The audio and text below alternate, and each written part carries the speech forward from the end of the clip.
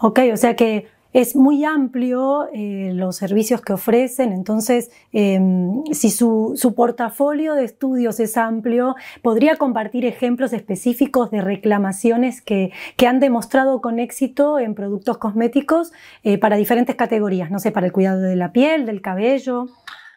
Esto es importante porque la confidencialidad es otro de los pilares fundamentales de la empresa, con lo cual no puedo transmitir ningún resultado eh, que obviamente todos los resultados pertenecen a clientes, con lo cual yo no puedo decirte, trabajamos con esta marca, trabajamos con la otra, este producto ha dado estos resultados o ha dado los otros. A nivel confidencialidad somos muy estrictos, pero te puedo dar algunos datos que te pueden dar ideas a, los potenciales oyentes de la entrevista sobre cómo está trabajando Dermaclaim, dónde trabaja Dermaclaim, para qué tipo de clientes y, con ello nos haremos un poco más una idea de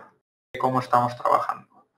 Actualmente hemos trabajado con más de 80 clientes en todo el globo, es decir, tenemos clientes en los cinco continentes, esto es importante.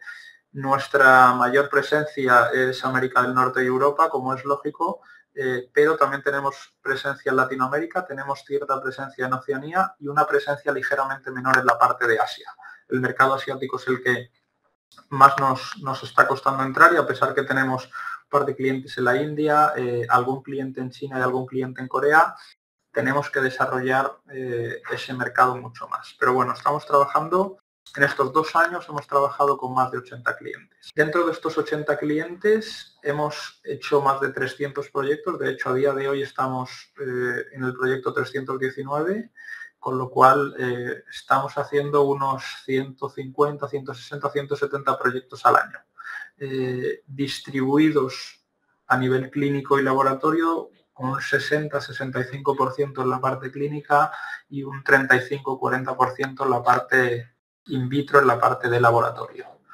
Eh, te he dicho más de 300 proyectos, esto hace que tengamos analizadas unas más de 500 muestras y estamos trabajando prácticamente 50-50 para empresas de ingredientes activos o de materia prima y eh, empresas de producto cosmético final. A nivel de nicho de mercado, a nivel de tipo de producto, eh, nosotros tenemos mucha experiencia en skincare, tenemos mucha experiencia en body care, tenemos mucha experiencia en make-up, estamos cogiendo bastante experiencia en nails eh, y en hair care, especialmente a nivel de caída, crecimiento, anticaída y caspa. A pesar de que